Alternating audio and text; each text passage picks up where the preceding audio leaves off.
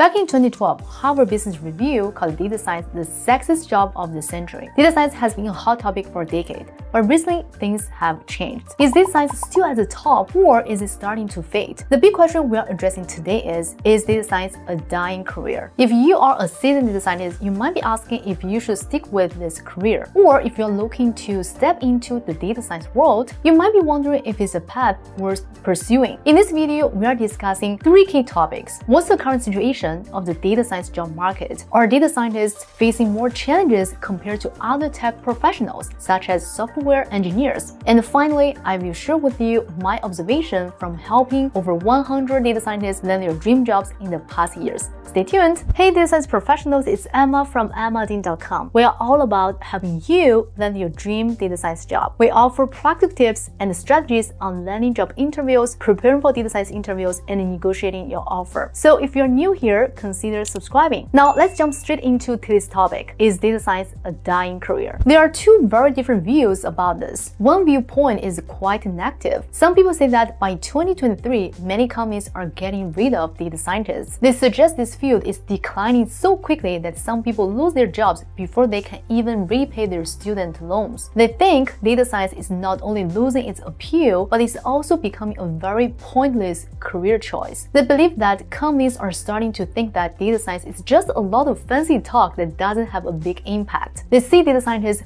who mainly use SQL as being too common and believe that machine learning projects often don't go beyond the prototype stage. They feel this is a big waste of money and that companies are now trying to cut costs and no longer value data scientists. On the other hand, there are people who are more positive. These people argue that the market for data scientists is thriving. Some data scientists report that while others say the field is dying, their own career keeps getting better. They keep earning more money and getting promoted. They firmly believe that data science is not shrinking, but actually actually growing. They think that many companies still haven't figured out how to use data science effectively. Additionally, they observe a continuing trend of companies investing in data driven products indicating that the demand for data science remains strong. Consequently, they view data science as an extremely relevant and highly sought after career. So, which perspective is correct? Let's dive into some real data to get a clear understanding of the situation. According to a study on Statista.com, the amount of data in the world is expected to reach a mind blowing 181 zettabytes by 2025. To give you an idea, one zettabyte is equal to 1 trillion gigabytes or 10 to the power of 21 bytes. This tremendous growth has led to a high demand for data scientists, and it even surpasses the rate at which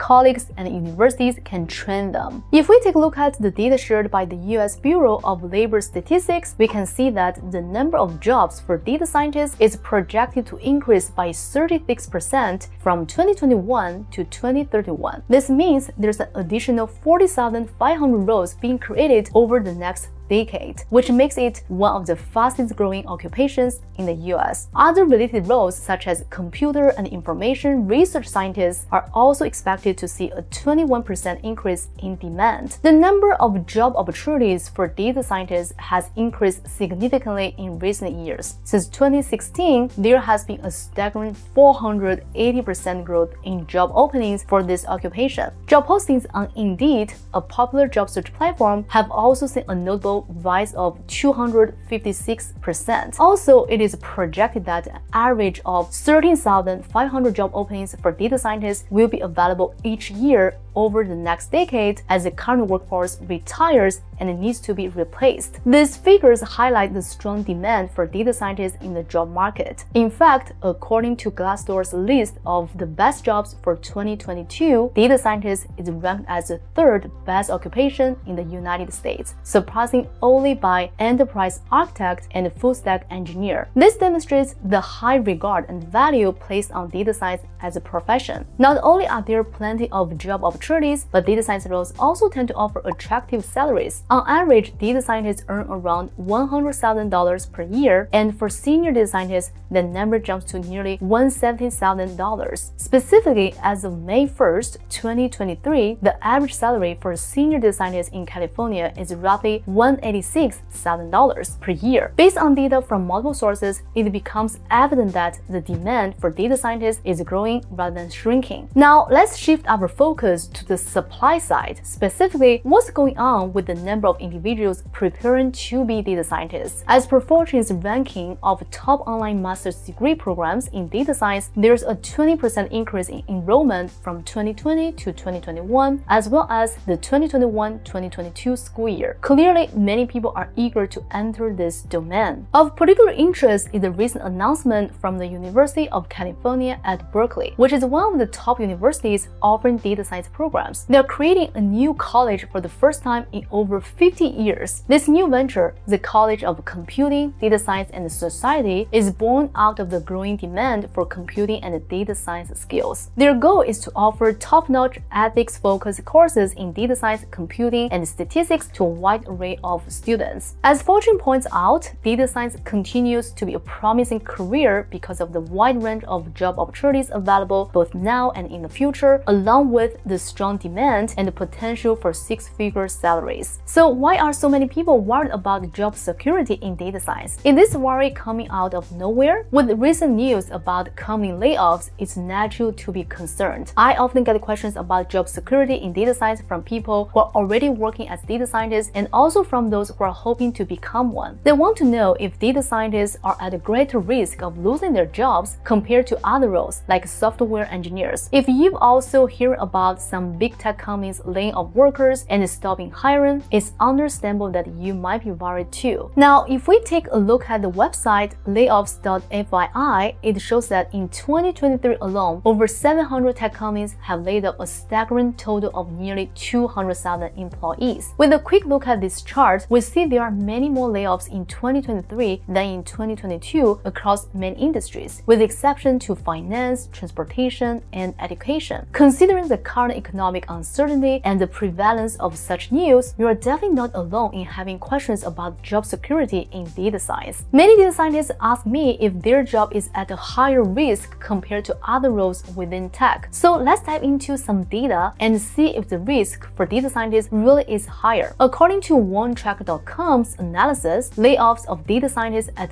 major tech companies like Meta and Google are relatively rare. For example, in the last quarter of 2022, among 2,746 layoffs at Meta in California, only 16 data scientists were impacted. That's only about 25%. Similarly, Google's layoff in the first quarter of 2023 included only 11 data scientists. These numbers clearly suggest that data scientists have a lower likelihood of being laid off compared to other roles. It's important to keep in mind that these companies employ a significantly larger number of engineers than data scientists, often at a ratio of more than 5 to 1. For instance, as of January 2021, Meta, formerly Facebook, had around 80,000 employees, out of which roughly 25,000 to 30,000 were software engineers. On the other hand, the number of data scientists is relatively small. According to an analysis published on Vox.com, there have been more tech layoffs affecting software engineers in 2023, accounting for approximately 19% of the total layoffs, which is considerably higher than the layoffs faced by data scientists. All of this means that even if a small number of data scientists lose their jobs, it might appear appear more significant because of the relatively smaller data science workforce. However, the data indicates that the perception of data scientists facing higher job loss risks doesn't align with reality. So while job security is a valid concern in any field, including data science, the available data suggests that data scientists have a relatively lower risk of layoffs compared to other roles, considering the current trends in major tech companies. Alright, now let's dive into my personal experiences as a data scientist and and mentor over the past six years. But before we get into that, I'd love to hear about your own experiences as a data scientist in the comments section below. Let's learn from each other and share your insights. And if you find my content valuable, make sure to hit that subscribe button for more evidence-based discussions and data-driven insights. Okay,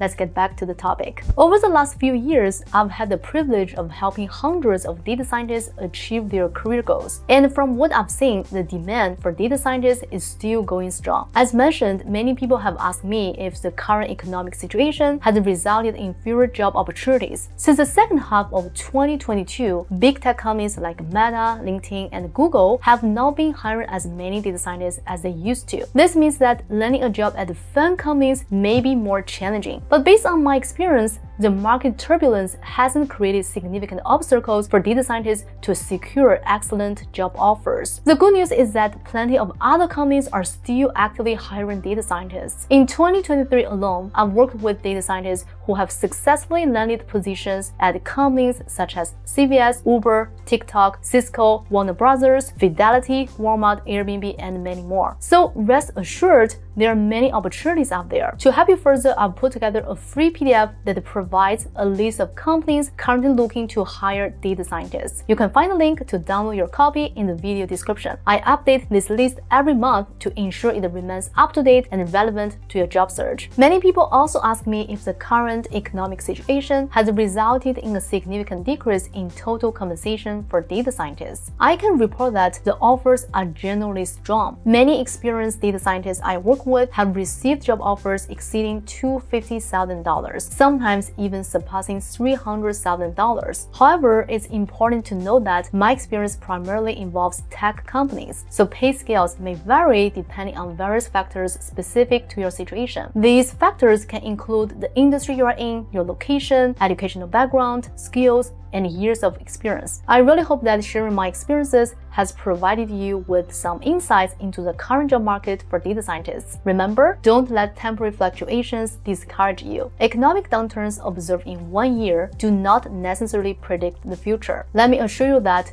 data science is far from being a dying career. However, I must emphasize that it's not an easy career either. The competition in data science is intense, especially when it comes to big tech companies. Just take a quick look at job postings on LinkedIn, and you will see that a single data scientist opening can attract hundreds of applicants within a matter of weeks. Companies typically seek candidates with a diverse range of skills, including statistics, SQL, R, Python, machine learning, A-B testing, and more. It takes time to learn all these skills and effort to be good at them. In some cases, specific positions may even prioritize candidates with domain-specific knowledge, such as experience in marketing or paid media. Obtaining such expertise can take years of professional experience and learning. However, succeeding in data science is not only about technical proficiency. It's equally important to have a genuine passion for uncovering insights from data, the curiosity to ask the right questions, and the creativity to effectively communicate your findings in a manner that others can understand. Strong communication skills are highly valued in this field. So if you are considering taking your data science career to the next level or entering this exciting field, let me offer you some advice. Stay motivated and continuously work on enhancing your skills while deepening your knowledge in specific domains. Data science is a rapidly evolving field